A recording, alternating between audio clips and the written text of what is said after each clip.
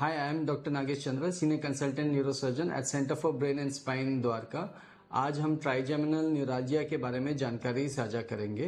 Trigeminal nerve जो होती है वो चेहरे पे सप्लाई करती है और कई बारी ये नर्व जब क्षतिग्रस्त या उत्तेजित हो जाती है तो चेहरे पे शॉक लाइक सेंसेशन देने लगती है।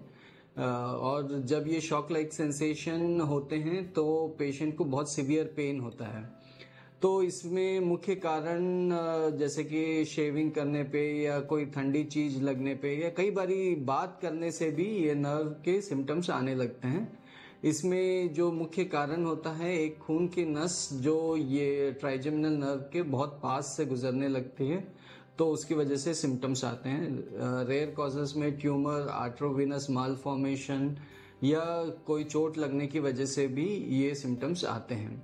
नॉर्मली इसमें ट्रीटमेंट हम मेडिसिन से देना शुरू करते हैं। मेडिसिन से ज़्यादातर मरीज़ रेस्पॉन्ड करते हैं। कई पेशेंट जो नहीं रेस्पॉन्ड करते हैं, उनके में रेडियो फ्रीक्वेंसी एब्लेशन या एक सुई द्वारा उस नर्व का इलाज किया जाता है।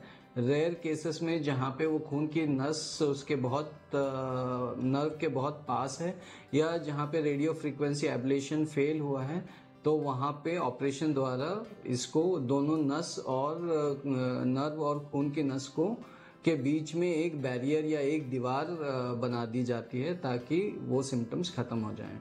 Any patient who has symptoms of trigeminal neuralgia should definitely consider consulting us at centre for brain and spine Dwarka for information and further management of trigeminal neurology thank you